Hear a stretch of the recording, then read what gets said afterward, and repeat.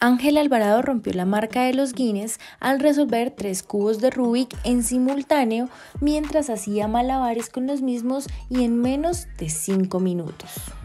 El joven bogotano de 19 años superó su propio registro que había logrado en mayo de 2021 cuando cumplió con la prueba y detuvo los relojes en menos de 5 minutos.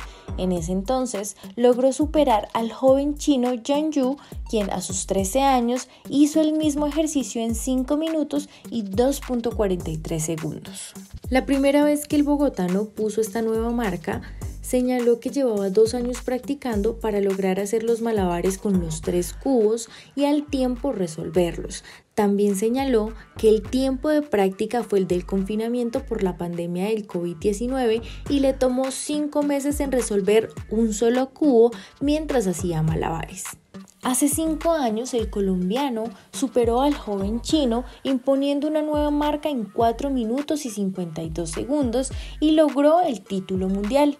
En esta oportunidad, el reto era superarse a sí mismo.